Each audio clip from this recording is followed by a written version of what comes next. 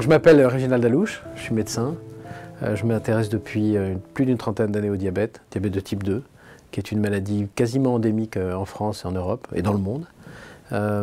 J'assure une consultation et je suis également ingénieur et j'ai travaillé beaucoup, j'ai travaillé en, recherche dans ce domaine à l'INSERM sur le diabète et aujourd'hui le prédiabète.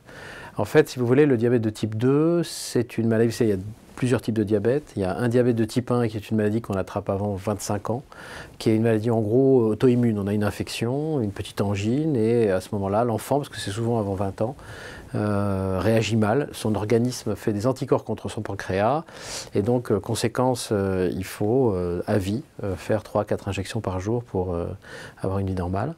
Puis il y a le diabète de type 2. Alors ça, le, diabète, premier diabète touche 100 000, 150 000 personnes à peu près, c'est assez stable.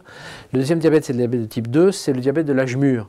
Il touche les gens plutôt après 40 ans, 45 ans. C'est euh, euh, je mange trop, un peu de sucre, un peu de gras, euh, pas assez de sport, pas assez d'exercice, voilà. Et, le diabète de type 2 touche à peu près 3 millions, 3 millions et demi de personnes en France.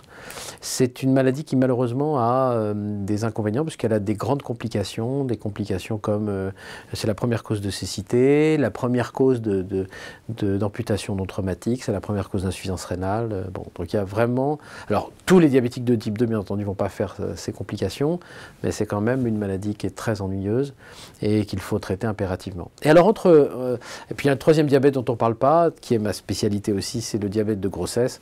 Mais ça, c'est un diabète qui commence avec la grossesse, qui se termine avec la grossesse, et il n'y a aucun risque ni pour l'enfant ni pour la mère, sauf si la mère refait un diabète de grossesse, elle peut avoir un risque supérieur à la moyenne de faire un diabète de type 2 après 40 ans, 45 ans. Mais ce qui m'intéresse le plus, c'est euh, parce que tout ça, c'est pas pas des bonnes nouvelles. Hein, le diabète de type 2, c'est pas une bonne nouvelle quand on vous dit qu'on vous en avez un. Euh, moi, je m'intéresse au prédiabète, parce que figurez-vous que ça, c'est la bonne nouvelle. Il faut entre 5 et 15 ans pour faire un diabète de type 2, et avant ce diabète type 2, il y a le prédiabète. Et donc j'ai voulu écrire un livre euh, sur ce thème qui s'appelle Du plaisir du sucre au risque du prédiabète, parce qu'il y a une vraie relation entre euh, la consommation de certains sucres, pas de tous les sucres, avec l'apparition d'un diabète de type 2. Et donc si on peut agir pendant cette phase de prédiabète qui est réversible alors que le diabète de type 2 ne l'est pas, ben, c'est plutôt, un bénéfice. Donc dans le livre, vous avez euh, une présentation un peu de la maladie, euh, une représentation presque aussi de l'homme, parce que euh, il y, a, par exemple dans votre côlon et dans votre intestin, vous avez une flore bactérienne qui est très importante et qui va jouer soit contre, soit pour l'apparition de ce diabète de type 2. Donc vous avez un test euh, au cœur de ce livre pour savoir si vous êtes prédiabétique et quels sont les risques que vous encourez.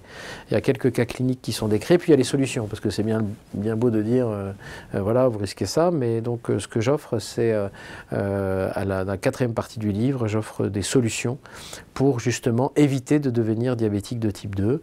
ces solutions sont très simples, sont très simples à, à mettre en œuvre, et c'est toute l'ambition de ce livre, c'est d'évaluer votre risque de prédiabète et de diabète de type 2, de vous donner également euh, les solutions, tout en vous expliquant pourquoi. Parce que je crois que quand on sait, on se comporte plus de la même façon après qu'avant. Euh, voilà, ça c'est vraiment l'objectif et, le cœur du livre. Euh, voilà.